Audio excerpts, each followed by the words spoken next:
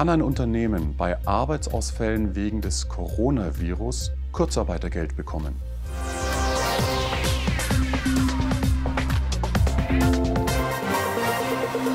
Ein Punkt vorab.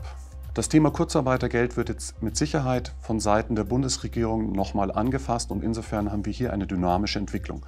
Was ich jetzt schildere, ist also der aktuelle Stand. Das Kurzarbeitergeld ist relativ komplex. Ich habe mir deswegen ein paar Notizen mitgebracht. Deswegen senkt sich mein Blick manchmal nach unten.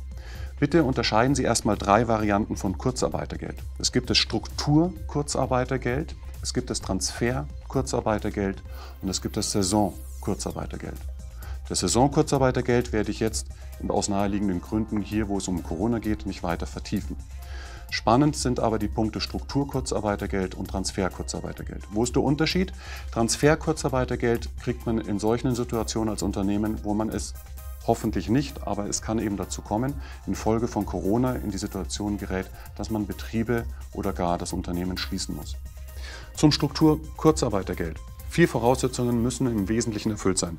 Erstens, es muss ein erheblicher Arbeitsausfall mit Entgeltausfall vorliegen. Zweitens müssen die sogenannten betrieblichen Voraussetzungen vorliegen. Was das ist, erkläre ich näher.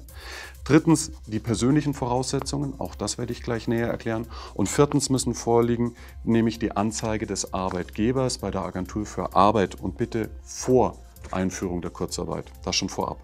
Jetzt zu der Frage, was sind die äh, betrieblichen Voraussetzungen? Die betrieblichen Voraussetzungen sind erfüllt, wenn der Betrieb mindestens einen Arbeitnehmer beschäftigt. Das wird vermutlich bei Ihnen der Fall sein. Die Frage persönliche Voraussetzungen, die ist schon anspruchsvoller. Hier müssen Sie bitte beachten, dass wir einen Arbeitnehmer haben, der nach Beginn des Arbeitsausfalls seine versicherungspflichtige Beschäftigung fortsetzt. Punkt 1. Punkt 2. Das Arbeitsverhältnis darf nicht beendet werden infolge von Kündigung oder eben Auflösungsvertrag. Und Punkt 3. Der Arbeitnehmer muss von dem Bezug von Kurzarbeitergeld auch nicht ausgeschlossen sein.